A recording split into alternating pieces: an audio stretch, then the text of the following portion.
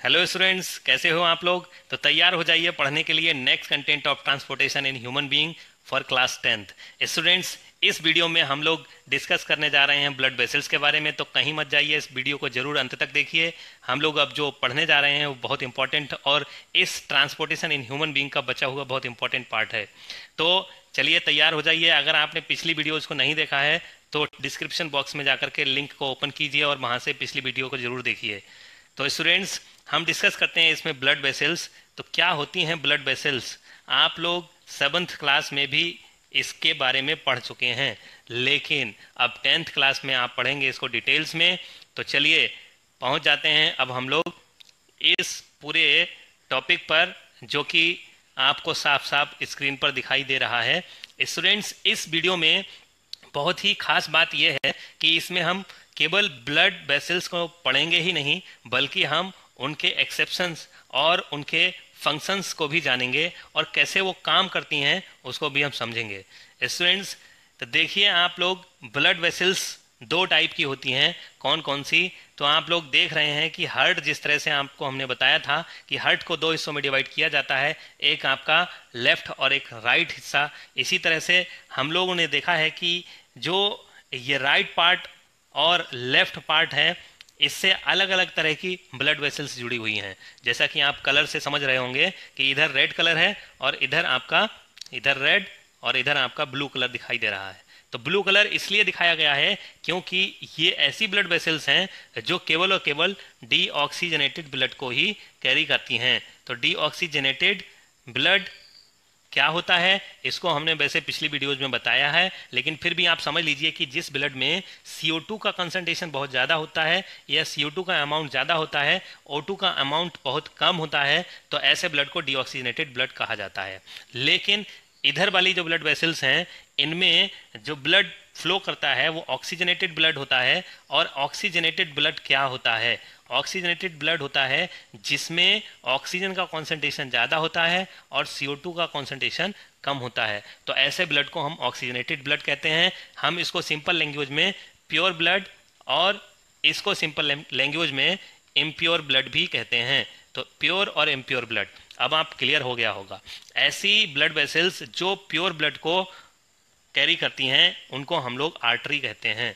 Artery artery क्या होती हैं? तो आप लोगों को इसके बारे में और डिटेल से पढ़ेंगे, लेकिन अभी केवल हम लोग एक मोटा मोटा समझ लेते हैं कि आर्टरीज और वेन में क्या डिफरेंस है। तो आर्टरीज जो प्योर ब्लड को कैरी करती हैं, यानी ऑक्सीजनेटेड ब्लड को कैरी करती हैं, लेकिन वेन्स तो जो वेन्स होती हैं, वो हमारे डीऑक्सीजनेटेड ब्लड को कैरी करती हैं। तो डीऑक्सीजनेटेड ब्लड को कैरी करने वाली केवल कोई एक ही वेन नहीं होती है, जो आपको यहाँ पर दिखाया गया है। यहाँ पर आर्टरी कोई एक ही नहीं होती है जो आपको दिखाया गया है, बल्कि हमारी पूरी बॉडी में इस तरह की ब्लड वेसल्स आर्टरीज और बेन्स फैली रहती हैं। तो अब अगर समझें तो सबसे बड़ी बेन जिसको हम लोग क्या कहते हैं? वेना कैवा उससे थोड़ा सा साइज़ में कम उसको हम लोग नॉर्मल वेन कहते हैं और उससे और साइज़ में कम। साइज़ का मतलब क्या होता है? जिसका डायमीटर बहुत ज़्यादा होता है, उसको वेना कहवा। जिसका डायमीटर थोड़ा सा कम होता है, उसको वेन जिसका डायमीटर और कम होता है, उसको हम लोग वेन्योल कहते हैं। और जिसका डायमीटर बिल्कुल भी कम होता है, सबसे कम डायमीटर वाली वेन को कैपिलरी कहा जाता है।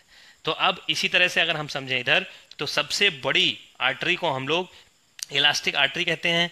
और जो थोड़ा सा डायमीटर में कम होती है उसको मस्कुलर आर्टरी कहते हैं और जो और डायमीटर में कम होती है उसको आर्ट्रियोल कहते हैं। सबसे कम डायमीटर वाली आर्टरी को कैप, कैपिलरी कहा जाता है।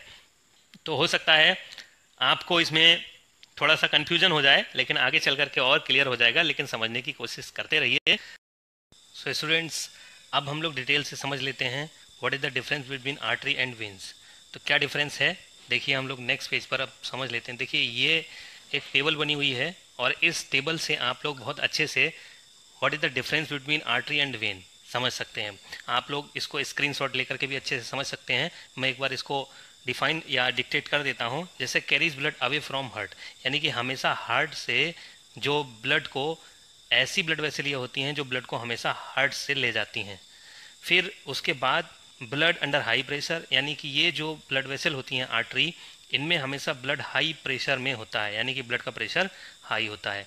इनकी वॉल थिक होती है। वॉल थिक का मतलब ये होता है कि अगर कोई ब्लड कैपलरी है तो ब्लड कैपलरी की जो दीवार है, वो काफ़ी मोटी होती है। यानी कि इस तरह से आप लोग जो देख रहे हैं, इसकी दीवार काफ़ी मोटी है। तो next pulse flow pulse flow का मतलब ये होता है कि ये एक बार क्या करती हैं, इस तरह से एक बार इस तरह से, इस तरह से, यानी कि बीच में थोड़ा सा कॉन्ट्रैक्ट करती हैं, फिर रिलैक्स करती हैं कॉन्ट्रैक्ट और रिलैक्स इस तरह से कॉन्ट्रेक्सेस कॉन्ट्रेक्शन और रिलैक्सेशन को ही हम लोग पल्स फ्लो कहते हैं। नैरो ल्यूमेन ल्यूमेन क्या होता है स्टूडेंट्स जो कैपिलरीज या ब्लड वेसल्स के बीच में जो इम्पटी प्लेस होता है, इसको हम लोग ल्यूमेन कहते हैं। तो जब इसकी वॉल थिक होगी थिक वॉल है तो ल्यूमेन अपने आप जो एम्प्टी प्लेस है, वो अपने आप कैसा हो जाएगा? कम। फिर उसके बाद नो बॉल्ब्स स्टूडेंट्स जो आर्टरी होती हैं आर्टरी में कोई बॉल्ब नहीं होते हैं. बॉल्ब नहीं होते हैं, इसको अभी हम आगे पिक्चर में डिटेल से समझ लेंगे. फिर इसके बाद ब्लड रिच इन ऑक्सीजन जैसा कि आपको बताया हार्ट से जो ब्लड हमेशा जाएगा बॉडी पार्ट्स में, वो कैसा होगा? ऑक्सीजनेटेड होगा. तो ऑक्सीजनेटेड ब्लड को ये कैरी करती हैं. अब वेंस की बात करते हैं. Veins carries blood toward heart यानी कि टुवार्ड हर्ट का मतलब हर्ट के अंदर ब्लड लाने वाली जो ब्लड वेसल्स होती हैं, उनको हम लोग विंस कहते हैं, और ये ब्लड कहाँ से आएगा? बॉडी से। कैसा ब्लड होगा? डीऑक्सीजनेटेड जिसमें कार्बन डाइऑक्साइड ज़्यादा होगी। फिर इसके बाद next blood under low pressure यानी कि ब्लड लो प्रेशर में फ्लो करता है। इसकी बॉल पर प्रेशर थोड़ा कम पड़ता है। थिन बॉल थिन बॉल का मतलब जब अगर हम लोग देखें तो इसकी दीवार कैसी होती है? पतली होती है। Next smooth flow smooth flow का मतलब ब्लड आराम से फ्लो करता है, सीधा फ्लो करता है। इसमें बार बार जो कॉन्ट्रक्शन और रिलैक्सेशन नहीं होता है। लार्ज ल्यूमेन लार्ज ल्यूमेन का मतलब वही, अगर वॉल अगर पतली हो जाएगी तो अंदर की जगह बढ़ जाएगी। तो बॉल पतली होने की वजह से थिन वॉल होने की वजह से ल्यूमन बड़ा हो जाता है। बॉल प्रेजेंट इनके अंदर बॉल होते हैं जो ब्लड के फ्लो को रेगुलेट करते हैं। ब्लड पुअर इन ऑक्सीजन वही डीऑक्सीजनेटेड ब्लड होता है। तो ये था difference between artery and veins आप इसका एक स्क्रीन शॉट लेकर के अच्छे से समझ सकते हैं। चलिए अब थोड़ा सा डायग्रामेटिक व्यू देख लेते हैं इसका। ये देखिए डायग्रामेटिक व्यू है, जैसा कि आप लोग देख रहे हैं। इसका देखिए वॉल मोटी है, यानी कि काफ़ी ज़्यादा थिकनेस आपको यहाँ पर दिखाई दे रही है। और यहाँ पर आप देख रहे हैं कि बॉल तो पतली है ल्यूमन ज़्यादा बड़ा है, ल्यूमन यहाँ पर पतला है, आर्टरीज में ल्यूमन पतला है, यहाँ पर ल्यूमन बड़ा है तो ल्यूमन ज़्यादा हो गया। यहाँ पर ल्यूमन कम हो गया, बॉल थिक हो गई, बॉल पतली हो गई। ये डिफरेंसेस हैं, जैसा कि आप नीचे भी देख रहे हैं, यहाँ पर बॉल पतली है, ल्यूमन बड़ा है, बॉल मोटी है तो ल्यूमन छोटा है। बॉल्ब यहाँ पर कोई बॉल्ब नहीं है, लेकिन यहाँ पर आप लोग देख रहे हैं ये बॉल्ब प्रेजेंट हैं तो आप लोग अच्छे से समझ पा रहे होंगे। चलिए अब नेक्स्ट पेज पर चलते हैं। आपको और क्लियर कर देते हैं। देखिए, कुछ आर्टरीज और बेंस के कुछ एक्सेप्शन भी होते हैं। एक्सेप्शन क्या होते हैं? जैसा कि आपको अगर हम बताएँ तो ये आप लोग जो देख रहे हैं यहाँ पर, इसमें हमेशा आर्टरी अभी तक जो आपको बताया है हार्ट से ब्लड को बाहर ले जाती हैं। और कैसा ब्लड ले जाती हैं? ऑक्सीजनेटेड वेंस हमेशा हार्ट की तरफ़ ब्लड को लाती हैं। कैसा ब्लड लाती हैं? कार्बन डाइऑक्साइड जिसमें ज़्यादा हो डीऑक्सीजनेटेड लेकिन इसका एक्सेप्शन भी होता है कुछ। एक्सेप्शन का मतलब जो इसका उल्टा करे, ठीक। अब कैसा उल्टा करेगा? वो आप यहाँ पर समझ सकते हैं। देखिए, कुछ ऐसी आर्टरी होती हैं। कुछ आर्टरी का मतलब एक आर्टरी ऐसी होती है जो हमेशा ब्लड को हार्ट से बाहर तो ले जाती है, लेकिन ये ब्लड कैसा होता है? डीऑक्सीजनेटेड जिसमें कार्बन डाइऑक्साइड ज़्यादा होती है। और ये बाहर ब्लड कहाँ जाता है? लंग्स में। तो लंग्स में ब्लड जब जाता है हार्ट से वो कैसा होता है? डीऑक्सीजनेटेड और ये आर्टरी जो हार्ट से लंग में ब्लड ले जाती है, इसको पल्मोनरी आर्टरी कहते हैं। पल्मोनरी आर्टरी तो pulmonary artery is the exception of arteries ये आप अच्छे से समझ लीजिए इसको। फिर इसके बाद हम लोग नेक्स्ट देखते हैं वेन्स का एक्सेप्शन तो वेन्स ऐसी वेन जो हार्ट में ब्लड तो लाए, लेकिन ये ब्लड कैसा हो? ऑक्सीजनेटेड ब्लड उल्टा, यानी कि जिसमें ऑक्सीजन ज़्यादा हो। लेकिन ये कहाँ से ब्लड लाएगी? लंग्स से। तो लंग्स से ब्लड लाने वाली वेन ऑक्सीजनेटेड ब्लड को लाती है और इसको क्या कहते हैं?